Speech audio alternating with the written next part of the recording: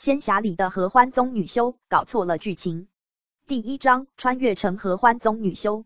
韩蕊是一个普通的现代人，最爱的消遣就是读各类仙侠小说。他总是想着，要是能穿进仙侠小说里，说不定也能体会到那些打怪升级、侠肝义胆的快感。然而，当他真的穿越进一本仙侠小说时，现实却远比他的幻想残酷得多。他醒来时，发现自己身穿一袭红衣，躺在一张古色古香的床上，身旁还有一位神情焦虑的女修在他耳边说着话：“师妹，你的毒发作了，只有与全阴体质的男子一起修炼才能续命，不然你就只剩三十天了。”什么毒？什么续命？韩蕊脑子一团乱，但一股从身体深处传来的剧痛让他无法不正视现实。他这才惊恐的发现自己穿成了小说中一个倒霉的合欢宗女配，开局集中剧毒，生命只剩下短短三十天，而唯一的解药是要与全阴体质的男子双修，才能清除体内的剧毒。想到这里，韩蕊简直要崩溃了。更糟糕的是，他知道整本书里唯一的全阴体质男子，就是那个被封印在背阴谷的魔尊男主叶寒辰。叶寒辰这个名字在书中可是鼎鼎大名。他不仅心狠手辣、冷酷无情，还爱吃，这点倒是小说中不经意提到的一个搞笑梗。总之，绝对不会是个好对付的人物。完了，穿越不说，还碰上这么个难搞的剧情，韩蕊忍不住在心中哀嚎。第二章与魔尊的交易。韩蕊心知自己命不久矣，实在是没时间犹豫，无奈之下，他决定硬着头皮去找魔尊叶寒辰谈交易。他事先准备好了一大堆美食食材，带着锅碗瓢盆溜进了背阴谷。背阴谷是个常年笼罩在阴霾中的地方，终年寒冷刺骨，难怪叶寒城会被关在这里。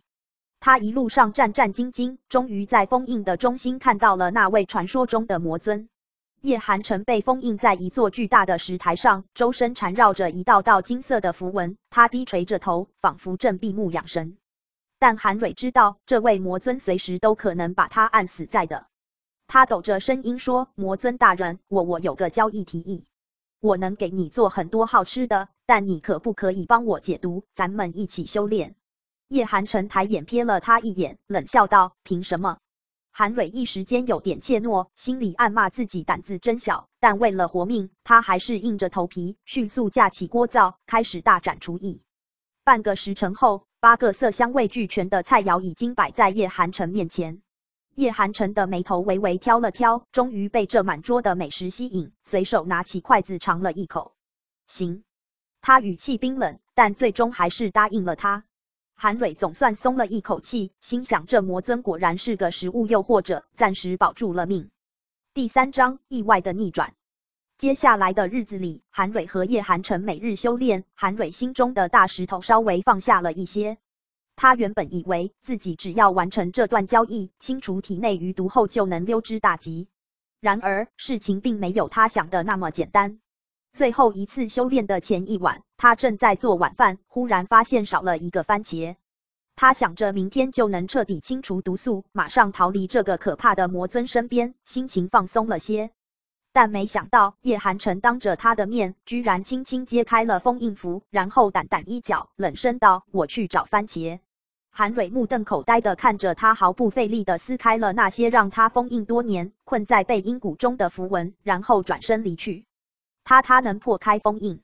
韩蕊呆立在原地，脑中乱作一团。这不对劲！按照书中的剧情，叶寒辰不是应该被永久封印在谷中，毫无灵力吗？难道是他的出现改变了故事进程？此时脑中的危机意识让他意识到不能再等了。他迅速收拾起所有行李，包括锅碗瓢盆，趁着叶寒辰买菜未归，连夜逃跑。第四章：疯狗魔尊的寻妻之路。叶寒辰回到谷中时，发现锅碗瓢盆和人全都不见了。他一开始还有些不以为然。但等了三天，还是没见韩蕊的身影，这才意识到自己竟然被抛弃了。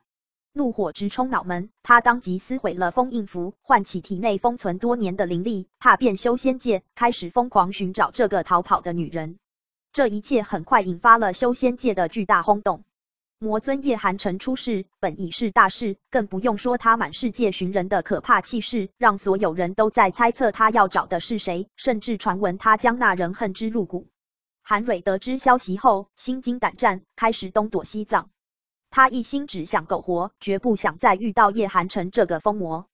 第五章被堵在墙角。两年后的某天，韩蕊正躲在一个偏僻的修仙小镇上生活。他以为已经摆脱了叶寒辰的追踪，没想到当他从集市回来时，在一条僻静的小巷中，突然感到背后寒气阵阵。转身一看，果然是那个他最不想见到的魔尊。叶寒辰一袭黑色披风遮住了他高大的身形，眼神冷冽，缓步逼近他。他压低声音，充满怒火地说：“始乱终弃是吧？抛夫弃子是吧？”韩蕊一脸懵逼：“我不是我没有抛夫就算了，哪来的子？”叶寒辰冷冷一笑，撩起披风，露出微微鼓起的小腹。你有鹿属血脉，为何不早说？韩蕊瞬间石化。鹿属，那不是传说中能让男人怀孕的祥瑞之兽吗？这个设定在书里也就一句带过，根本没引起他的注意。结果居然自己给男主整怀孕了。第六章，怀了个魔尊。韩蕊内心一片混乱，他怎么也没想到自己居然让魔尊怀了孕，这下怎么办？跑是跑不掉了，难道真要面对这个失控的剧情走向？叶寒辰显然对这件事十分愤怒，他本就是被封印多年，心中充满怨气，现在又被这个抛夫弃子的女人甩掉，自然怒不可遏。然而看着那微微隆起的肚子，韩蕊心里也五味杂陈。这一场荒唐的穿越，他究竟该如何收场？故事后续。